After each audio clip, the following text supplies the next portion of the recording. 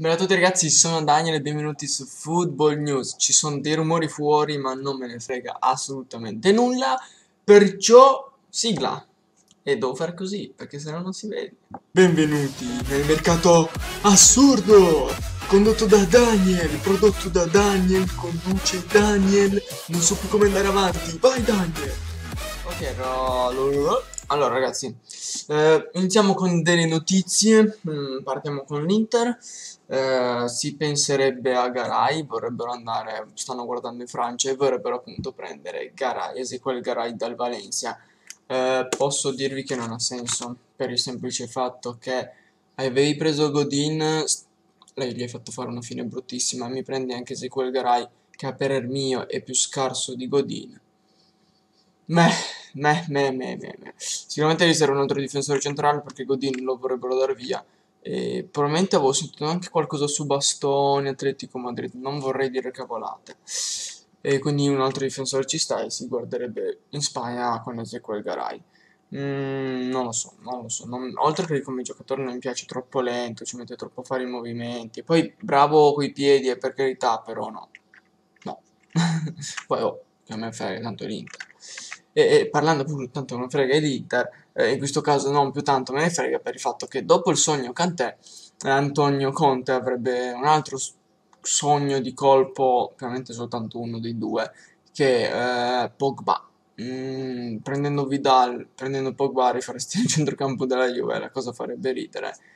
Però sarebbe un bel colpo per l'Inter, non lo vedrei bene, no. Lo rivedrei bene nella Juve, sì. Mm, lo vedrei bene nel Milan, sì. Quello è ovvio. Però la vedo molto, ma molto, molto, molto, molto, molto difficile che Pogba ritorni all'Inter.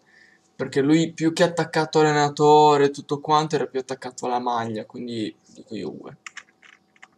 Andando avanti, parlando sempre, visto che stavamo parlando di Juve, parliamo appunto di lei. Eh, nel video di ieri vi avevo detto che eh, la Juve sarebbe interessata ad Adama Traoré. Ecco, eh, il Wolverhampton chiede ben 80 milioni. Mazza che cifra, io mi aspettavo sui 40-50, ok? Dio 40, penso sì 40-45 sia la cifra giusta.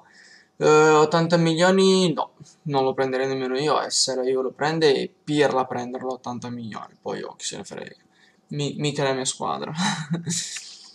Andando avanti, uh, un attimino di, di, di, stranezza perché questa cosa mi, mi ha colpito pure a me, come state leggendo. Uh, su Lozano ci sarebbe sì il Milan, io non sapevo questa cosa, cioè oddio avevo sentito qualcosina ma non così in modo concreto, ma ci sarebbe anche uh, Liverpool di Klopp, quindi si sarebbero anche disposti a pagare sui 35-40 milioni per aver Lozano, probabilmente come panchinaro, e sinceramente ok va bene, nel senso bisogna avere comunque qualcuno di livello in panchina ed è giusto così, io lo vedrei abbastanza bene al Liverpool. No, al non tanto in verità. Ecco, Milan... Lo vedrei bene alla Juve, non so per quale motivo c'è sta cosa che lo vedo bene alla Juve. Però, cavoli loro. Andando avanti, una notizia in piccolissimo. eh, secondo quanto riporta tutto calciomercato, calciomercatoweb.com, eh, fatto sta che il Milan è interessato a Dani Olmo, giocatore che mm, mi fa impazzire. Mm, oddio, mi fa impazzire esagerato. Mi piace tanto, lo ci vedrei bene sì, come trequartista sì, come mezzala no, come davanti alla difesa no, eh, no, ok, trequartista, ma che va ad esterno destro, ma trequartista. E quindi la vedo dura molto, ma penso sia una delle di, tipo Pogba all'Inter, ecco, per, per noi Dani Olmo Milan è una cosa simile, un colpo impossibile tipo questo.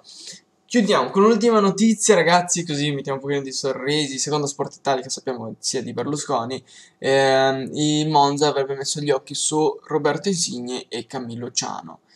Allora, direi di più di sia un Roberto Insigne che un Camillo Ciano. Ciano mi sembra giochi nel Frosinone, non è malissimo, però fa fatica secondo me a riprendere a giocare nel, nel, nel Monza di Brocchi, quindi io direi più un Roberto Insigne, che ricordiamo che sogna di giocare con suo fratello al Napoli, con Lorenzo Insigne.